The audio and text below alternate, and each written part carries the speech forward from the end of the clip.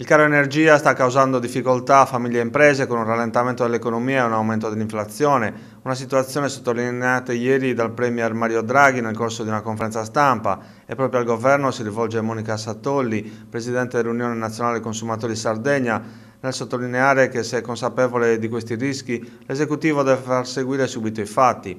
La benzina, aumentata del 5,8% in meno di un mese e mezzo, non è nemmeno nell'agenda del governo, rileva l'associazione, mentre sarebbe fondamentale ridurre le accise di almeno 20 centesimi per calmierare l'inflazione.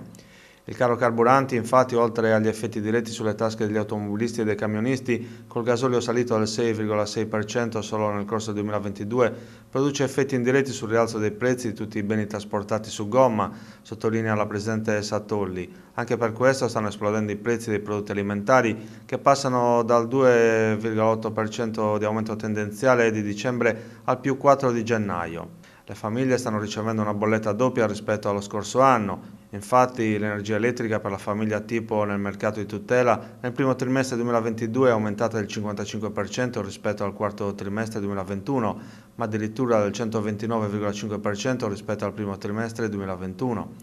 mentre il gas è salito rispettivamente del 41,8% e del 94,3%, conclude la Presidente Sattolli.